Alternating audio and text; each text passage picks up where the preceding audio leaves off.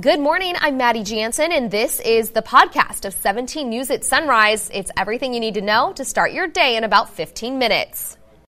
Working in the spirit of the Golden Empire, this is 17 News at Sunrise. Great to have you with us on this Tuesday. I'm Maddie Jansen alongside Alex Fisher, and we could be in for yet another round of rain. Yeah, it was just a quick break, but more showers are on the way. Let's turn things over to Kevin Charette, who's got a look at your forecast on this Tuesday.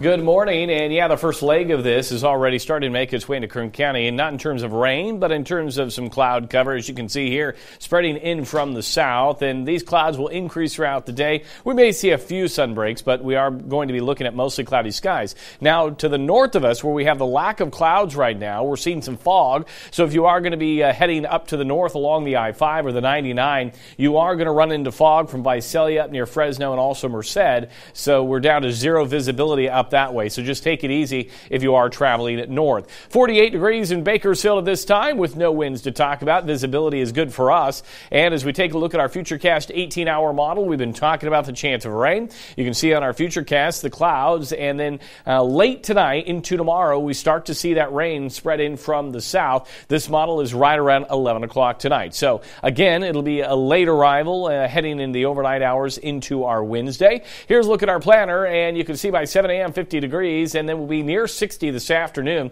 under mostly cloudy skies and a light wind. And then for the Tehachapi area, 37 right now. You have a southeast wind at 10 miles per hour. Visibility is good, and as we take a look at the temperatures, upper 30s to start, and then we'll be in the upper 40s to lower 50s this afternoon. Most mostly cloudy and a southeast wind right around 10 miles per hour. We'll talk much more about the chance of rain coming up in just a little bit. But first, let's get a check of the morning commute. We'll send that over to Alex. All right, Kev, thanks so much. And we're following this crash on the 58 right now that we first told you about on our website, kget.com. And it is going to be affecting all lanes on the 58 near Union and Chester Avenue. So uh, right now, all lanes are shut down, and you cannot get on the 58 from the 99. This all happened around 1 a.m. when a truck hit an electric line, shutting down all lanes in both directions. Westbound traffic is being diverted off at Union. The connector ramps between Highway 99 and Highway 58 are closed. You'll definitely want to get on the 58 from the 99 if you need to exit and then uh, get on the 58 at Chester Avenue. And there's no word on when lanes will reopen. We will, of course, keep you updated on this. But as you can see on this map here, this is showing you uh, where all of this is being affected. So it's quite a bit of a stretch here. So again, if you're going, uh, if you want to go into uh, the Tehachapi area or go eastbound 58, you will need to go through Chester Avenue. And then if you want to um, uh, go westbound, you'll have to exit at Union. Here's a look at the 99 near 7 Standard, and it's looking pretty clear on that side of town. Everything else around the county looking great to start off your Tuesday. We'll have another check of your commute coming up in about 15 minutes. And now to an update on a story we first brought to you earlier this week. One of the suspects involved in Sunday's shooting at a hotel off Rosedale Highway has been identified. 18 year old Keon Bolden was arrested on suspicion of attempted murder, among other charges. Bakersfield police say the shooting happened inside a room at the Rosedale Inn on Buck Owens Boulevard. Police say the victim's wounds are moderate. Officers say they chased the alleged shooters after they took off from the hotel and ran toward the Costco on Rosedale Highway. After a short pursuit, officers arrested both men. The identity of the second suspect has not been released because he is a minor. Also, the victim's identity has not been released. Meantime, Bolden is due in court later today. Jury selection began in the retrial of Leslie Chance, the former elementary school principal accused of murdering her husband in 2013. Chance faces life in prison without the possibility of parole if convicted of first degree murder in the death of Todd Chance. Prosecutors say she killed her 45 year old husband to collect on hundreds of thousands of dollars in life insurance policies. She's accused of shooting her husband off a dirt section of Noriega Road near Enos Lane the morning of August 25, 2013. Her first trial in June ended in a mistrial when the public defender's office declared a conflict of interest in representing her. Judge Charles Brehmer said he expects jury selection to last the rest of this week. Opening statements could be heard as early as December 9th.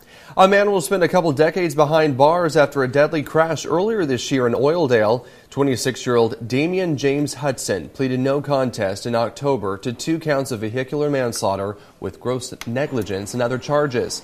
Prosecutors say Hudson ran a red light in a Dodge Challenger and collided with a pickup truck back in February. The crash happened on China Grade Loop at Manor Street. 27 year old Joshua James Andrews and 32 year old Lori Sue Soto were ejected from the Challenger and killed. Hudson was sentenced yesterday and will spend nearly 20 years in prison. The Bakersfield Police Department's looking for a vehicle suspected of being used in a 2017 homicide. Take a look. The shooting happened in front of the Tecate Market on South King Street and 3rd Street on October 8, 2017.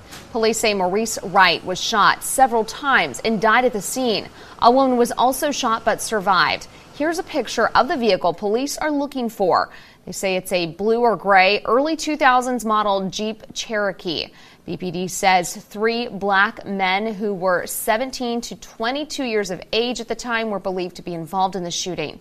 If you have information, you're asked to call BPD at 327 7111.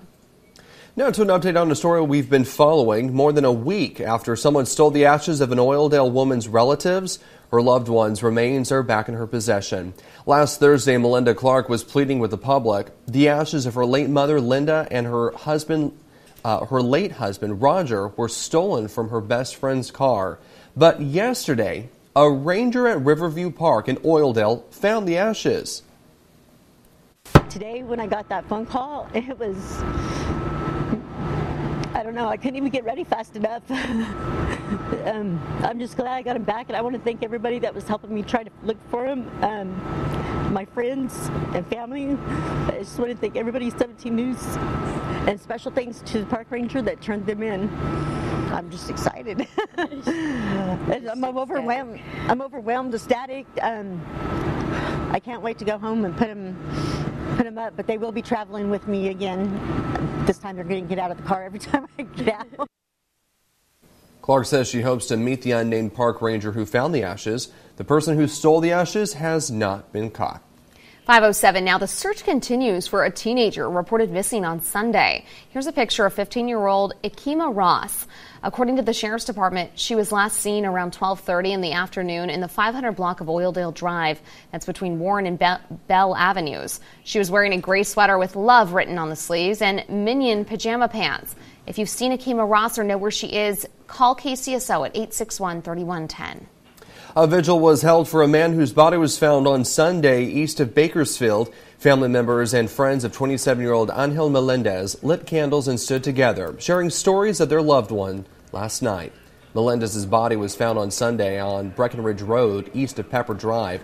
The sheriff's office says he had been shot multiple times.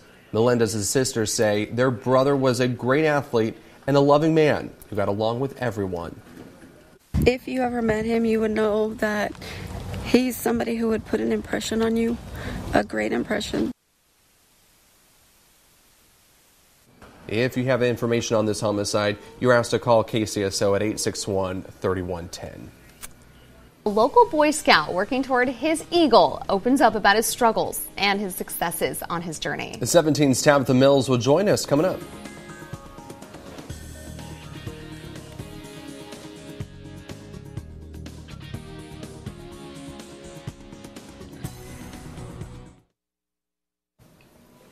Welcome back. The Eagle Scout Award is Scouting's highest rank. It requires years of service and dedication to Scouting and our community. It's a difficult award for anyone to achieve, but for a local teenager on the autism spectrum, he says he's come too far not to succeed. Tabitha Mills joins us now with his story. That's right. Good morning, Maddie and Alex. James Fulfer says Boy Scouts changed his life, and I think he should tell you why.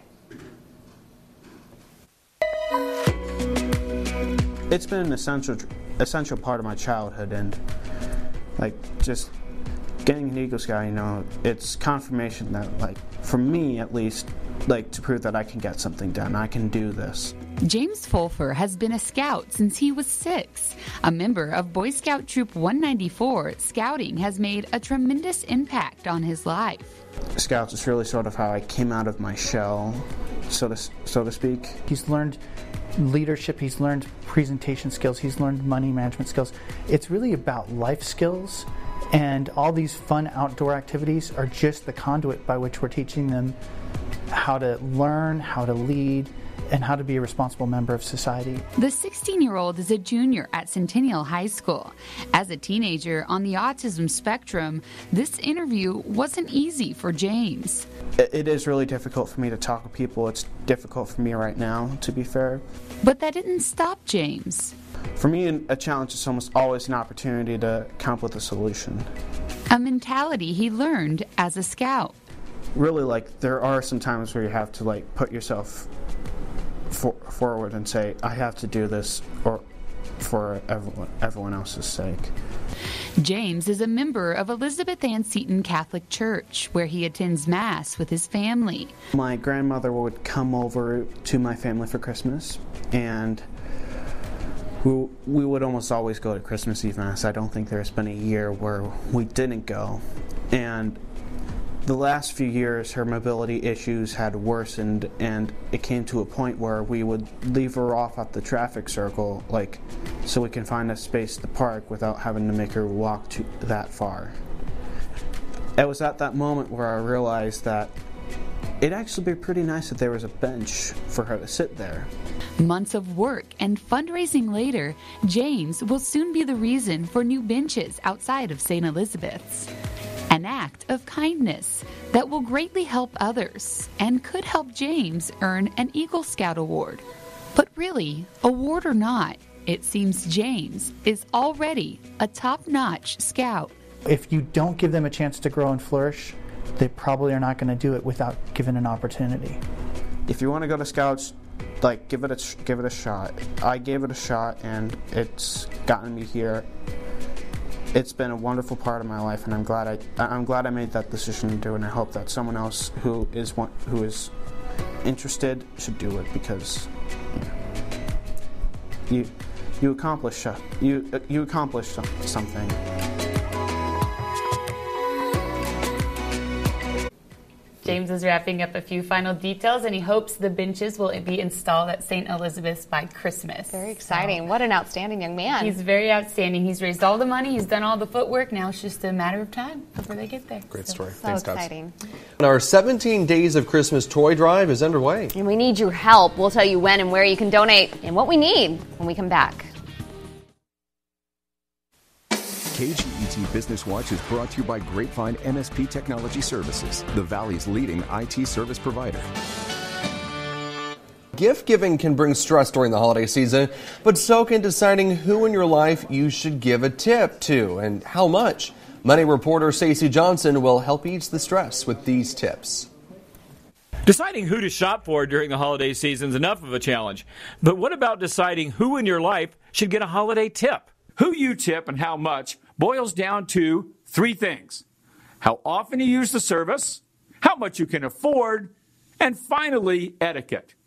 Let's start with the etiquette. It is considered proper to tip people who give you services, such as hairdressers, garbage collectors, personal trainers. It's not considered in good taste to offer cash to a teacher, and some workers aren't allowed to take cash, such as postal workers. But you can give a postal worker a small gift or food item worth 20 bucks or less, and you certainly can give a teacher a gift card. Either way, be sure and give a nice card with that gift, and if it's to the teacher, Make it from your kid too. Next, think about people who provide regular services. Here's a list of people and suggested tips from the Emily Post Institute. A babysitter or nanny should receive one week's pay and a gift from your child. Your hairdresser would get the amount of one service, a daycare provider 25 to 70 bucks, lawn care person 20 to 50, and trash or recycling collectors 10 to 30 dollars each. Finally, the longer your relationship with that service provider, the nicer your gift could be. But never overextend yourself to give a tip. Bottom line, tipping is a great way to say thank you to the people who take care of you all year. But you should never ever feel bad if you can't afford to give a tip. You should feel bad, though, if you can't afford to at least give somebody a note or say thank you. Want more tips on tipping? They're waiting for you at MoneyTalksNews.com. Just do a search for holiday tipping. For Money Talks News, I'm Stacy Johnson. Money Talks is brought to you by your local consumer credit counseling service. If you've got debt problems or just want some free budget counseling, call today. Well, our 17 Days of Christmas Toy Drive is underway. We are collecting toys and gifts until December 17th. The toys will benefit children and teens through Bakersfield Homeless Center and the Boys and Girls Clubs of Kern County. You can drop off new unwrapped gifts at our studios here at 2120 L Street, the Homeless Center on East Truxtun, or at the Boys and Girls Clubs on Niles Street. Yeah, it is uh, December 3rd, so we're a couple days in, and we've got a couple gifts in the lobby, which is good to see. But again, we'd love to see our lobby fill up throughout the, the next couple weeks, weeks, so please come on down. And don't forget those teens because we Yeah. always get lots of gifts for the little kids, and that's fantastic. We need those too, but we, we want to remember the teenagers.